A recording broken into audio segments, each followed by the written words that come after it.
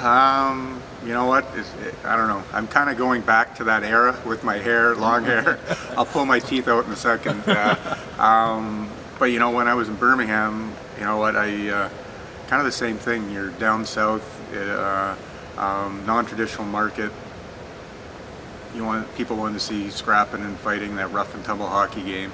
And uh, the very first exhibition I was in Birmingham, I grabbed some university kid, college kid that probably never fought in his life, and I kind of one punched him and knocked him out. Stay out of my yard was born right there, and then uh, you know when we came to came to uh, Columbus, um, Charlie, you know, Charlie was paying me, and I'm like, you can call me whatever you want as long as I get a paycheck.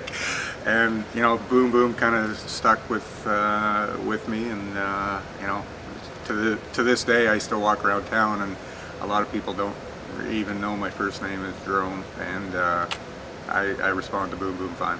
It is. Um, you know, it, it, it relates to a lot of kind of the sports here as well. I mean, um, we grew up on the farm, small town. When I say small town, I'm talking less than 150 people.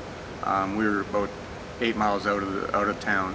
Um, you know, so there wasn't, uh, we got to a point where my brother and I, I have a twin brother, my brother and I played uh, in this small town and there's only 12 players on your hockey team. Um, and we were fairly good. All of a sudden we outgrow that small town. We got to go someplace for competition so we can get better. Um, you want it, you put all the time and effort to hopefully so they can use that to make a better life for them, whether it's going to school or college or make it pro or all that stuff.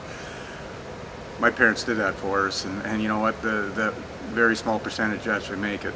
But I think the sports and, and being involved in it, it just teaches you life lessons. It teaches you a work ethic, how to get along with people and, and, and different situations. I mean, I, I wouldn't, I, am so thankful that my parents got us involved in something. It turned out great for me. I, and, uh, but I mean, it, it, made me who I am and, and, and taught me a whole lot of things uh, along the way. Charlie, Charlie, Phil Roberto, and Bruce uh, Garber.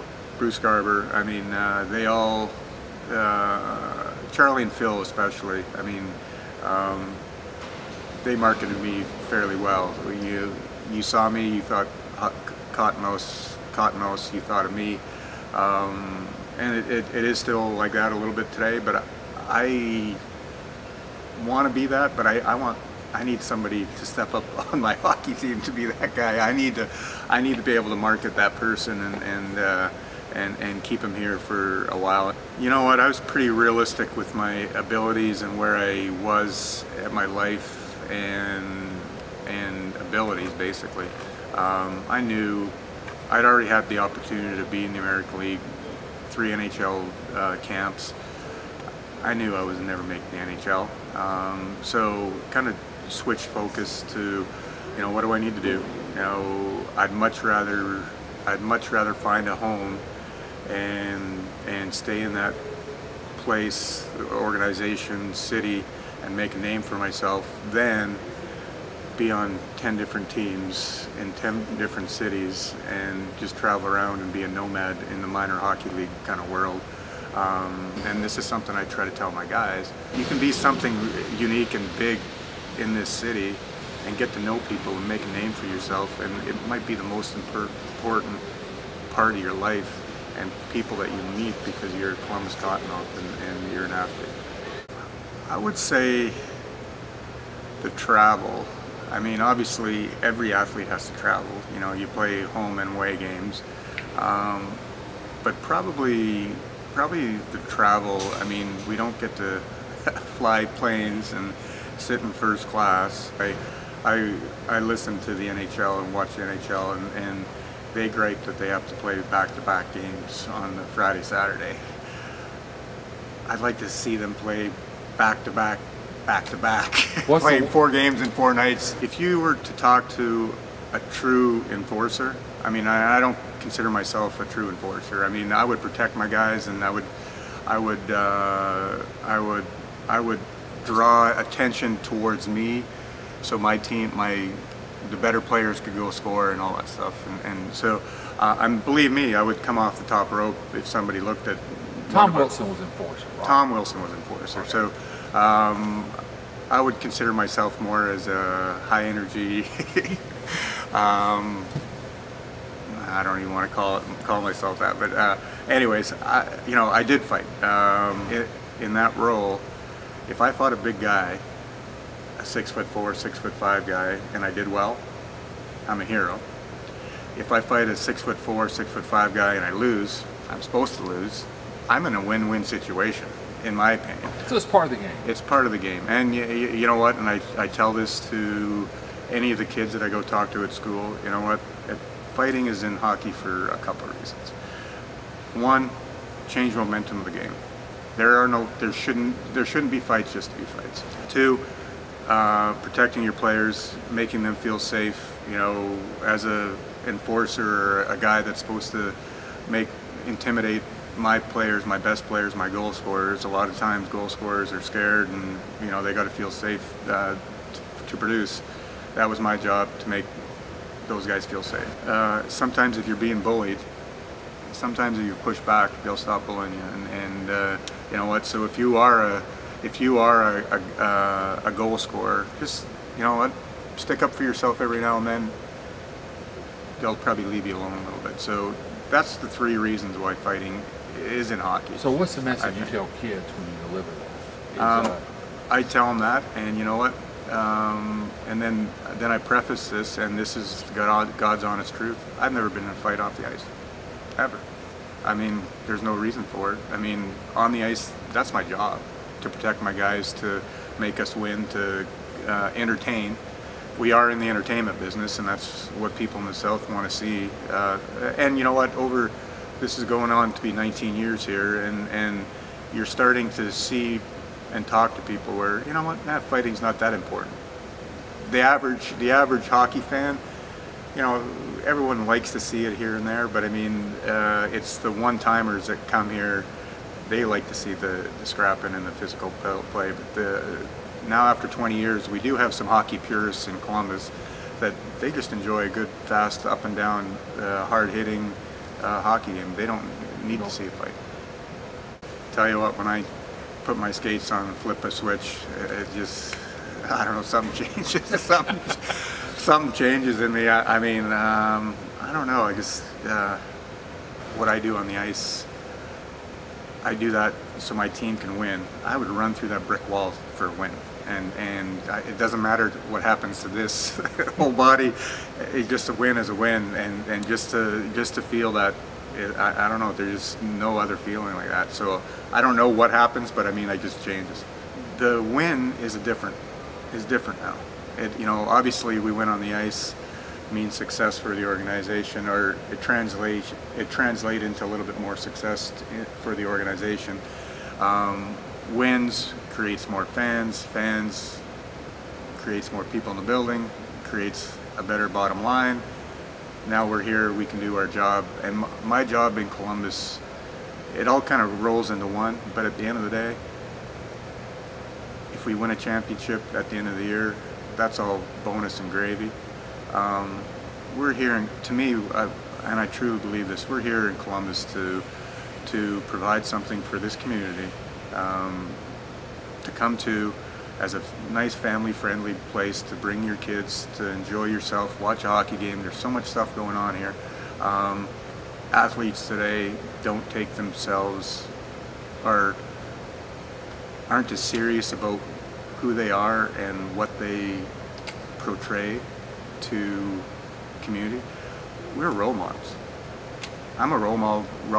I haven't played, been on the ice in, in 11 years, but I'm a role model. I, I mean, the kids that watch me and, and see me, my kids, I mean, I, we're all role models, and, and athletes even more so because we're put up on a pedestal, which, I mean, you are who you are who you are, and you got to send the right message because you know what, you you can make a difference in somebody's life by how you hold yourself, what you what you put out there as and, and how you act, and you can you can influence somebody. Um, just make somebody feel good that's all everybody wants is, is to feel special. I mean, um, and uh, I hope I, I hope I do that. Made one last call to Charlie, and Charlie's like, yes, yes, you can, you, you can, uh, let's, let's do this. Um, and knowing that Charlie had the RedStixx at the time, some of the stuff, uh, you know, I had to, we had to go to ball games and, and uh, sign autographs, sitting dunking booths at the RedStixx, uh, which uh, again all kind of led into, you know what, I'm going to do whatever it takes for this organization to be here. That's part of my job. My job is um, is to promote our hockey team. And uh, you know, Charlie was just a, a, a great, cool guy that loved to um, promote. I mean, he did a lot for this community. Um, unfortunately, everything was so short-lived uh, here. Um, you know, we came in 96, 97, and he passed away 97, 98. You, you know what? We all knew Charlie was still watching us, and I think it, it really it really impacted our hockey team knowing that he'd put this group together and um, I think he knew his time was going to be short-lived and he wanted to, he wanted to see us win. He wanted a And y'all championship won- and y'all won and we wanted that year. Um, a month and a half too late, um, but I know I know uh, Martha flew out to Wichita when we won it, and uh, she was on the ice with us uh, holding the cup, and, and we all knew he was there. He was watching us. So.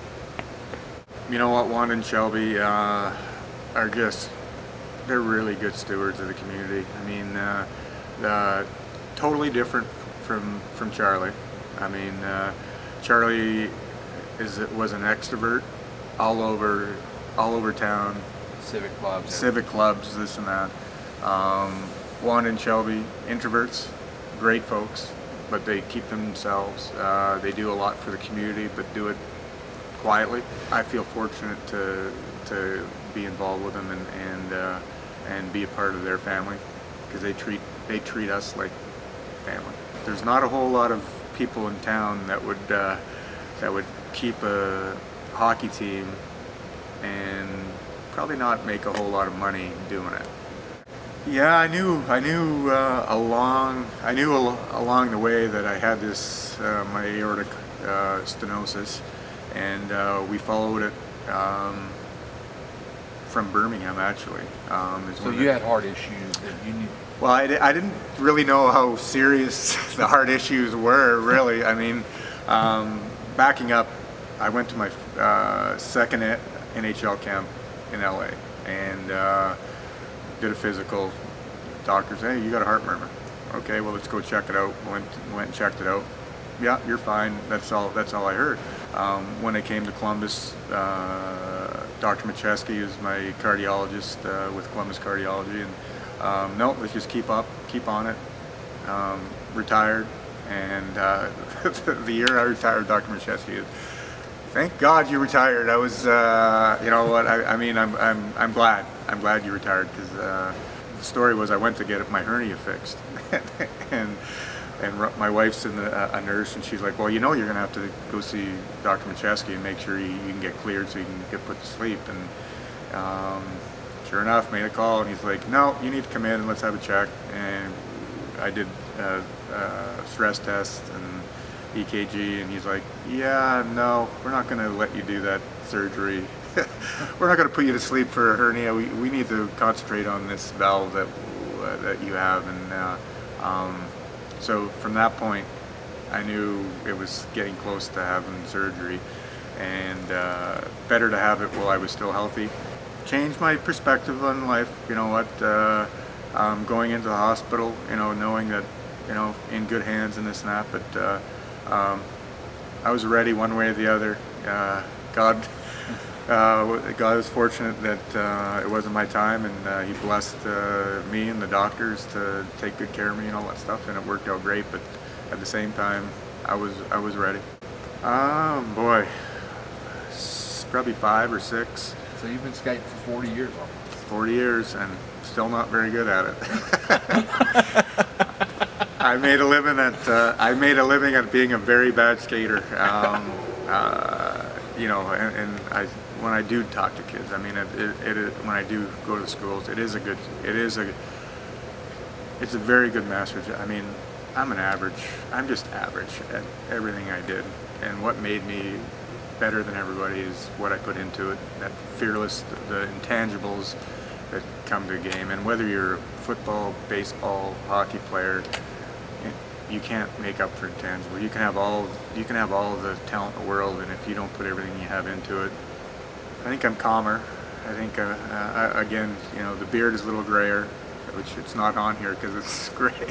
Um, I think that comes with uh, that comes with just learning and life experiences. Uh, um, you know, starting going to NHL camps and realizing what it took to get there, and then what it takes to stay there and knowing that I had the internal part, the desire and the work ethic to stay there, but knowing that I didn't and being smart enough and being realistic enough in who I am and my abilities, knowing that I didn't have the God gifted talents to stay there. But knowing that, that, you know, okay, I'm not in the NHL no big deal. I can still have an impact on, on others' lives, and, and and really, that's what it's all about for me now. Is is that my I if I have my office staff, I have my 18 guys in my locker room, and then you know everybody around us there. If my job is to make those guys better people.